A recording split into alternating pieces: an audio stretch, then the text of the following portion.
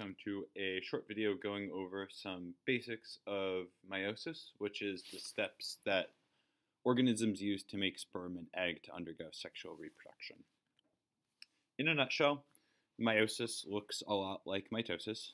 There's prophase, there's metaphase, there's anaphase, there's telophase, and then there's cytokinesis, but there are two rounds of it. And the reason why is when we initially have our diploid cell, that has two copies of DNA, one from mom and one from dad, and we duplicate it, we do something a little bit different in meiosis 1. the big thing that will be done differently is we line up paternal and maternal chromosomes as pairs of two rather than just individual chromosomes. And when we get into meiosis 2, that's going to be where we separate our sister chromatids. And the result of this, as we model out in class, will be cells that are haploid, not diploid, that contain only one of two copies of mom or dad's DNA. Um, at the end of mitosis, you had cells that were still diploid. They had mom and dad's DNA. Um, in this uh, process, um, haploid means there's only one copy of a chromosome. So we're going to get into some key terms and definitions and some ideas to get you started. A lot of this we'll be practicing and doing in class with an activity. So let's talk about some of the first basic intro to this um, next step in our genetics unit. The first is what is a gene? Um, it's really important to understand genes because when you're talking about chromosomes, different chromosomes contain different genes and different types of chromosomes will have different versions of those genes. So a definition of a gene is just a specific region of DNA that codes for a protein or part of a protein. And this is important because each gene has to be inherited through fertilization, and without that gene, organisms are unable to make that protein. So, for example, if both of your parents have traits or genes that make them lactose intolerant, you're also going to inherit an allele or a gene that makes you lactose intolerant because you can't make the protein lactase. So when we look at our chromosomes, here's our sister chromatids for a duplicated pair of chromosomes. A gene is just going to be a piece of information somewhere on that chromosome. Now, a loci or locus is that region or location of a gene on a chromosome. So where specifically are we finding it? The reason why we care about location or loci is that there are 46 chromosomes or 23 pairs of chromosomes in your um, cells. 23 pairs means that in each pair you have one chromosome from mom, one chromosome from dad. Each of those contains separately thousands of discrete genes, which can be turned on or off in certain cells or in certain locations or in certain environments. Understanding the location of a gene is really important for understanding its structure, its function, and why that gene is contributing to a certain process in our cell. Now, alleles are very subtle changes or variations in the gene. Think there versus they are. Uh, the meaning is the same, but the underlining structure is a little bit different, which is why we might get subtle differences in how we interpret it. With alleles, we're thinking about a specific gene and variations within that gene. For example, you have alleles for genes that code for your eye color that might code for brown, blue, green, um, etc. And these differences in the traits are based off of coding errors or changes in the DNA.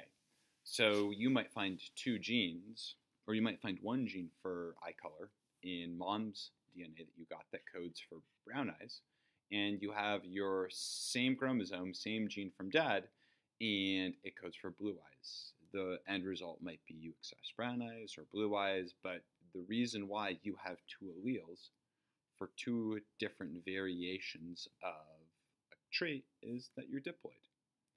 So here's a good way of thinking about loci and gene and traits. Diploid, and here's what we mean, by, here what, here's what I mean by talking about allele versus gene versus locus.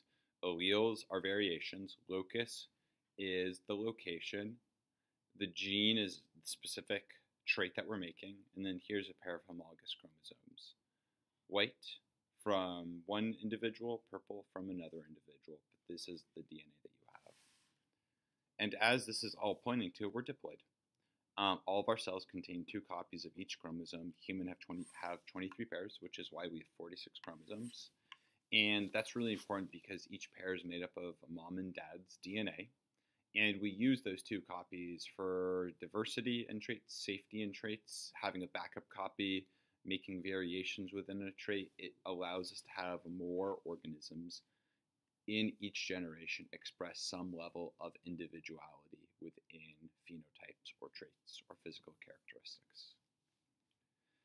And here we can see all 23 pairs of our um, chromosomes. Chromosomes 1 through 22 are non-sex based chromosomes, and then you can either be XY or XX based on your biological sex. Um, and there's still variations within um, these chromosomal combinations that can code for more than just XY or XX. So some other vocab words that we have to talk about, haploid. It's a cell that has one copy of each chromosome. This could be M or F. Um, it's not M and F in terms of maternal or paternal characteristics. Um, a haploid cell within humans is destined to fuse with another haploid cell to make a diploid cell. The result is going to be a unique combination of genetic material. Haploid cells in humans are sperm and eggs. So when we have an egg with mom's DNA and sperm with dad's DNA, those two will fuse to make a diploid zygote, which will eventually have both sets of DNA come together to make a cell that looks like all the cells in our body. Now, homologous chromosomes, as I've mentioned before, are just a pair of identical chromosomes made up of one mom and one dad, maternal and paternal sets of DNA. And they contain identical genes, but often different alleles depending on the parental genes that you inherit.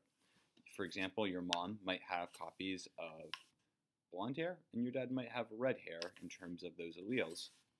So when we look at them, here's paternal, here's maternal chromosomes, we would compare the genes and the alleles on these chromosomes to better understand what traits you have. We still call duplicated chromosomes sister chromatids. So this is one chromosome duplicated with sister chromatids, and this is another duplicated chromosome with two sister chromatids. I have four chromatids, two chromosomes, and there's two copies of each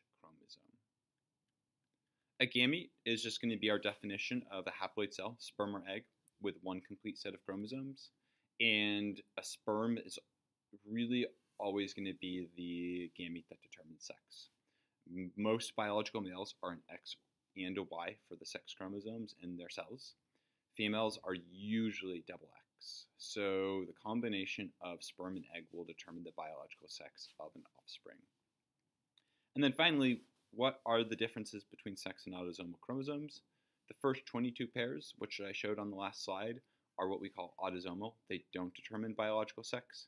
X and Y do code for biological sex, and they also code for some traits not necessarily related to sex. Um, sometimes you can inherit a third chromosome for any of these 23 pairs.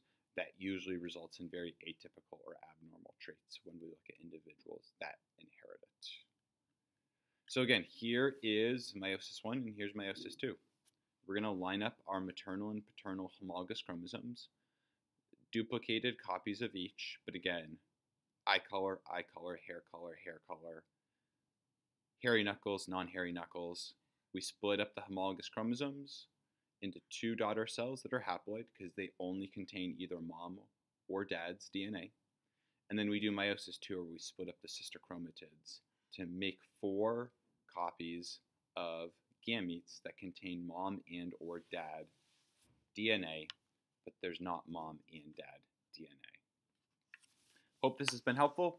Um, the main importance is that you are writing down these definitions, listening to my context, and thinking about explaining these words in your own language, in your own way, so you feel comfortable with them.